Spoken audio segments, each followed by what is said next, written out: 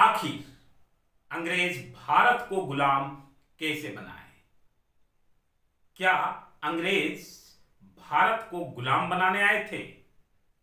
या व्यापार करने आए थे? अगर व्यापार करने आए थे तो फिर गुलाम क्यों बनाए? अंग्रेज़ फिर भारत पे आखिर शासन क्यों करने लगे? और अंग्रेज़ ने भारत की कौन सी कमज़ोरी की वजह से भारत को गुलाम बना लिया? कोई देश दूसरे देश को गुलाम कैसे बनाता है? इस अध्याय में हम लोग ये डिस्कस करने वाले हैं।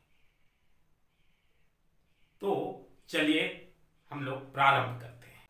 हिस्ट्री क्लास में आपका स्वागत है और हिस्ट्री क्लास में आज हम लोग जो टॉपिक्स डिस्कस करने वाले हैं और टॉपिक्स है आपका ध्यान से देखिएगा, व्यापार से साम्राज्य तक कंपनी की सत्ता स्थापित होती है।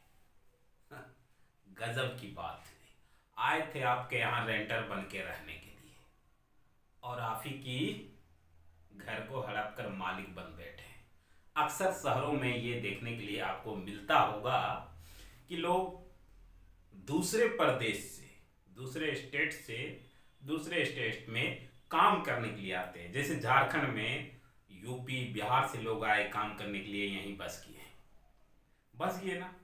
यहाँ पे अपना अधि बना लिए, साम्राज्य बना लिए, घर बना लिए। ये चैप्टर भी कुछ उसी तरह का है। आप समझ रहे होंगे कि इंडिया के बारे में मैं आपको बतलाने वाला हूँ। लेकिन क्या आप कभी आपने सोचा है कि आपके घर में आपके घर में बाहर के लोग आके आपके घर को अपने हैंड में कर लेते हैं या हड़प लेते हैं। कैसे यह हो पाता है? आखिर ये संभव कैसे है? बोलता है कि मुगल बादशाहों में औरंगज़ेब जो था, ये देख रहे ना, औरंगज़ेब, ठीक है, ये औरंगज़ेब, मुगल बादशाह में अंतिम शासक औरंगज़ेब। बहुत शक्तिशाली बादशाह थे।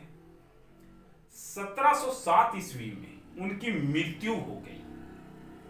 ठीक है 1707 ईस्वी में मृत्यु हो गई। कहा जाता है कि जब एक शक्तिशाली शासक कहीं पे शासन करता है रूल करता है तो उसके आसपास के इलाका सुरक्षित रहते हैं। ठीक है, अगर राजा ठीक ठाक हो तो सुरक्षित। मान लीजिए हमारे देश के पीएम। ठीक है, मिस्टर नरेंद्र मोदी। अगर वो मज़बूत हैं तो आसपास के जो भी हमारे पड़ोसी दोस्त देश हैं, जैसे पाकिस्तान तो कभी आँख भी उठाने की कोशिश नहीं करेगा। लेकिन यही अगर शासक ना हो तो पाकिस्तान आँख उठाने लगेगा वही बात इनकी मृत्यु के बाद, औरंगज़ेब की मृत्यु के बाद जो है, मुगल सूबेदार जो थे, बड़े, छोटे, जमींदार, ये सब जो है ताकत दिखाने लगे थे। ठीक है, ताकत दिखाने लगे थे। और अठारहवीं सदी के अंतिम सदी के उत्तरार्ध तक राजनीतिक क्षितिज पर अंग्रेज़ों के रूप में नई ताकत उभरने लगी थी। अठारहवीं सदी में ये राजनीतिक के जो था, वो पूर्ण रूप से ये दर्शाने की कोशिश करने लगा था कि अब यहाँ पे अंग्रेज़ों का शासन है। आप सोच रहे होंगे, भैया अंग्रेज़ यहाँ कैसे आके बस गया? तो भैया बसेगा क्यों नहीं? जरा सोचिए, अंग्रेज़ यहाँ क्यों नहीं बसेगा? जब अंग्रेज़ यहाँ व्यापार करने के लिए आए हैं ठीक है तो अच्छा खासा चीज़ यहाँ पे एकदम कम दामों में उपलब्ध था। प्लस में उसे यूरोप के बाज़ार में जब बेचा जाता था तो अच्छा खासा दाम भी मिलता था। तो अंग्रेज़ समझने लगे कि भैया, यहाँ से हम लोगों को फ़ायदा है। जैसे अभी बताए ना कि बहुत सारे झारखंड से कुछ लोग दिल्ली, मुंबई गए, काम करने लगे। उन्हें अच्छा वहाँ पे मुनाफा मिला तो वहीं बस गए। कुछ लोग यूपी, बिहार से झारखंड आए वो यहाँ पे काम करने लगे। उन्हें अच्छा लगा तो वो यहाँ पे बस गए। ठीक है अब यहाँ पे अंग्रेज़ भी उसी टाइप में किए। अंग्रेज़ जब यहाँ पे आए तो एक चीज़ उन लोगों को फ़ायदा क्या मिला?